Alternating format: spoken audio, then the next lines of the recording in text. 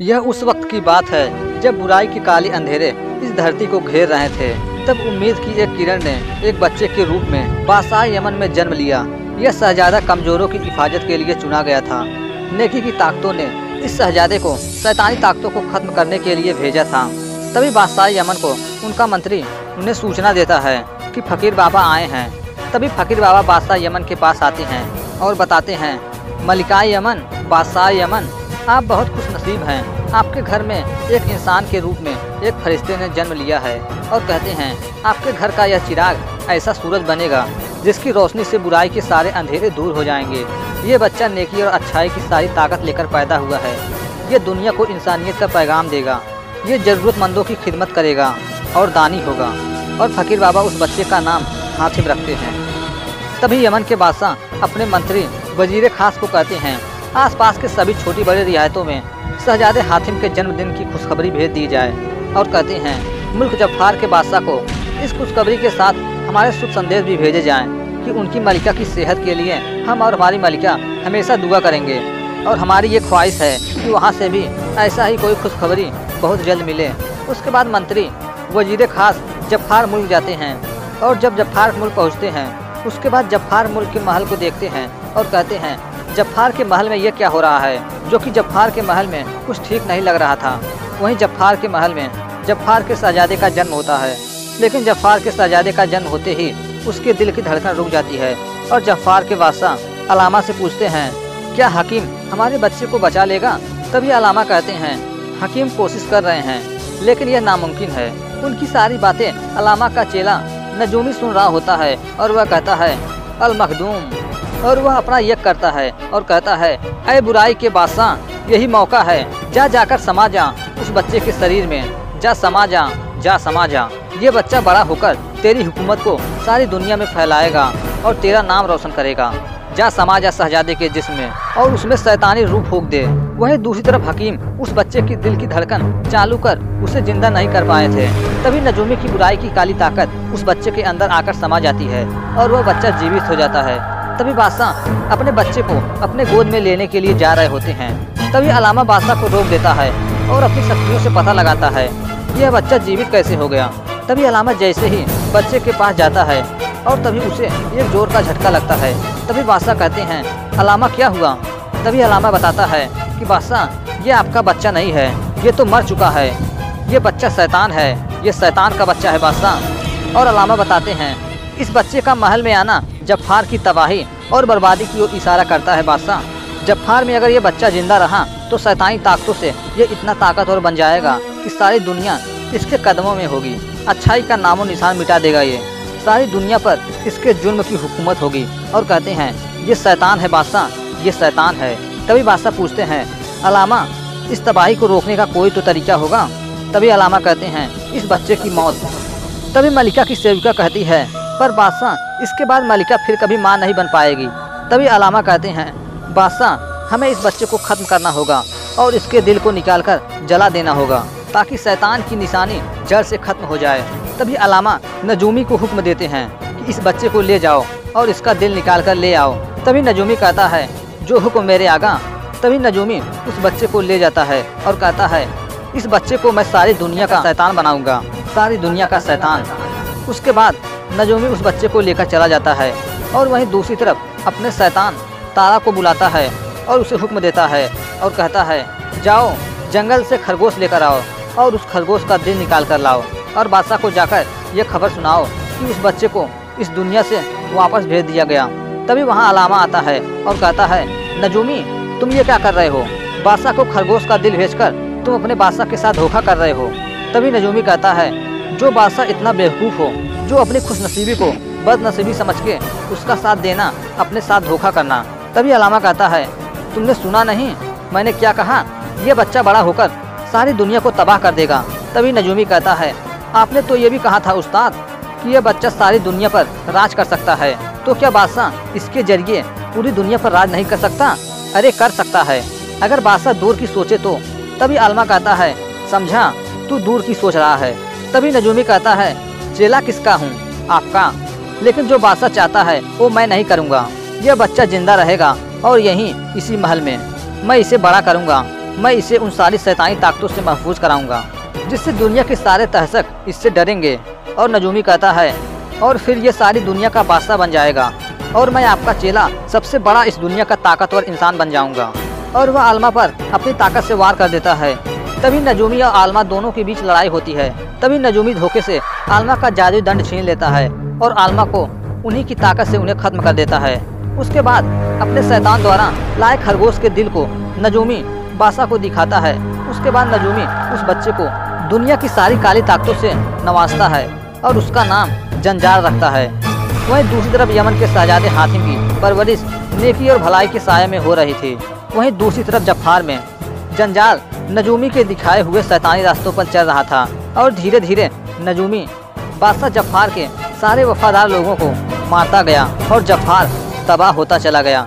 और नजूमी बादशाह को झूठ भगाता है और कहता है, बादशाह सलामत, मुल्क जफार की दुर्दशा देखकर आखिर सभी साथी गद्दार हो गए और यहाँ से भाग गए। और कहता है, लेकिन मैं यहाँ से नहीं भागा, मैं आपका वफादार हूँ। वहीं दूसरी तरफ़ यमन में हाथिम को उनकी अम्मी ढूंढ रही होती हैं। तभी उन्हें बताया जाता है कि हाथिम महल में नहीं है। वह तो हमेशा की तरह घुड़सवारी करने के लिए गया है। वहीं दूसरी तरफ़ हाथिम घुड़सवारी करने के लिए गए होते हैं और जंगल में हाथिम घुड़सवारी कर रहे होते हैं और जंगल को देख रहे होते हैं। तभी अचानक उन्हें कुछ चील उड़ते हुए दिखाई देते हैं, जो कि वे चील किसी का पीछा कर रहे होते हैं। तभी हाथिम भी उसका पीछा करते हुए उसके पास जाते हैं, जो कि वह चील किसी शहजादी का पीछा कर रहा होता है। वह चील कोई और नहीं, बल्कि उस नजूमी के भेजे हुए शैतान का चील होता है। तभी अचानक वह शैतान उस शहजादी पर हमला करने वाला होता है कि अचानक हाथिम तीर से उस पर वार करके उसे खत्म कर देते हैं और हाथिम एक एक करके सभी चीलों पर वार करके उन सभी चील और उस पर बैठे शैतान को खत्म कर देते हैं और उस शहजादी की जान बचा लेते हैं।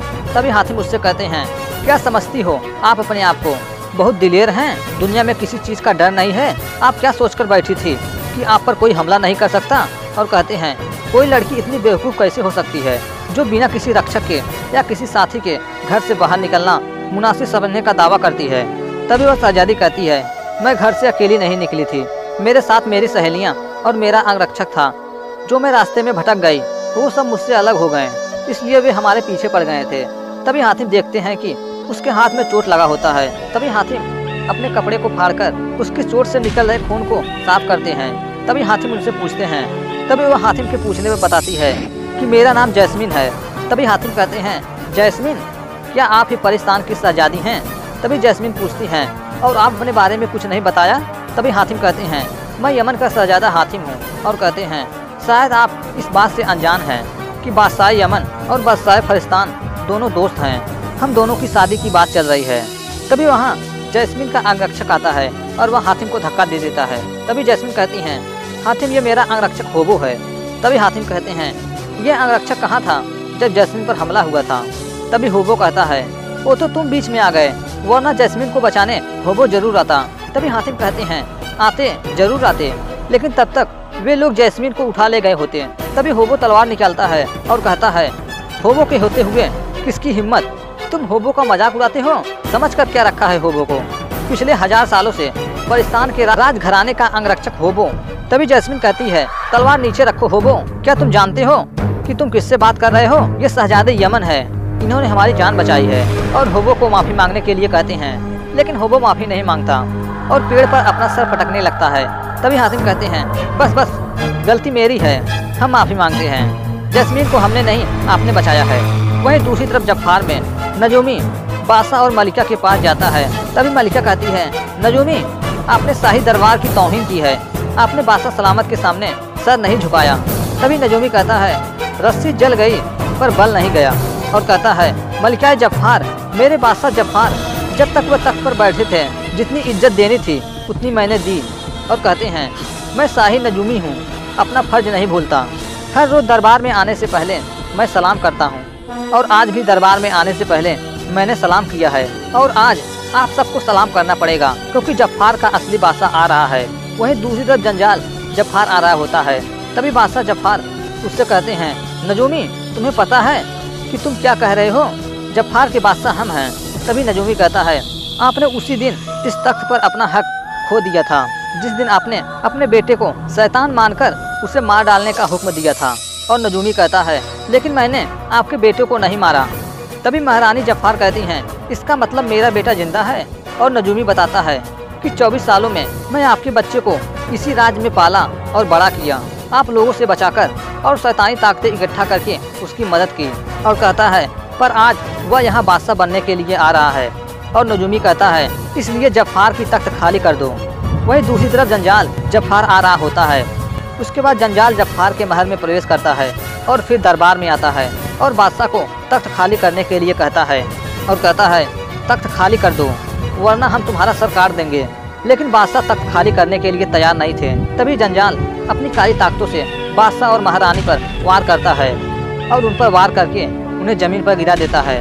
और जंजाल कहता है, दुनिया का सबसे ताकतवर बादशाह बनने का मेरा सफ़र आज से शुरू होता है।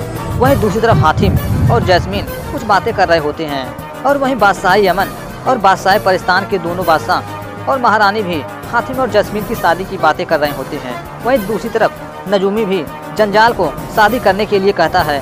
तभी जंजाल कहता है, शादी? लेकिन क्यों? तभी नजूमी बताता है, पूरी दुनिया में राज करने के लिए। और कहता है, तुम्हारी ताकत काफ़ी नहीं है। शैतानी ताकत हासिल होने के साथ साथ तुम्हें अच्छाई की भी ताकत हासिल करनी पड़ेगी। तभी जंजाल कहता है, वो कैसे? तभी नजूमी कहता है, तुम्हें ऐसी लड़की से शादी करनी होगी जिसका ख्याल नेक हो और जिसका हर कदम अच्छाई के लिए उठता हो। तभी जंजाल पूछता है आखिर वह लड़की मिलेगी कहाँ? तभी नजूमी अपनी शक्तियों की मदद से उस लड़की का चेहरा दिखाते हैं और बताते हैं, यह है राजकुमारी सुनैना, दुर्गापुर की। इसमें दुनिया भर की सारी अच्छाई मौजूद है। तभी जंजाल कहता है तो फिर ठीक है, मैं इससे शादी करूँगा। तभी नजूमी कहता है, शादी ज़ोर ज़बरदस्ती से नहीं, सुनैना की मर्ज़ी से होनी चाहिए। और अगर तुम उसे मजबूरन इस महल में ले भी आए तो वह अपनी सारी अच्छाई पीछे छोड़ आएगी। तभी जंजाल राजकुमारी सुनैना की मर्ज़ी जानने के लिए दुर्गापुर जाता है। जहाँ दुर्गापुर के महल में राजकुमारी का छोटा भाई तलवारबाजी कर रहा होता है। वही दूसरी तरफ़ जंजाल अपने सैतानी परिंदे पर बैठकर दुर्गापुर आ रहा होता है और वह दुर्गापुर के महल के पास पहुँच जाता है। वहीं दूसरी तरफ़ सुनैना के छोटे भाई तलवारबाजी कर रहे होते हैं। तभी जंजाल अपने सैतानी सेना के साथ महल में प्रवेश करता है। जो भी उसे रोकने की कोशिश करता, जंजाल के सैतानी सेना उन्हें खत्म कर देते हैं और उसके बाद जंजाल सुनैना के पास पहुँचता है। Can anybody out there hear me?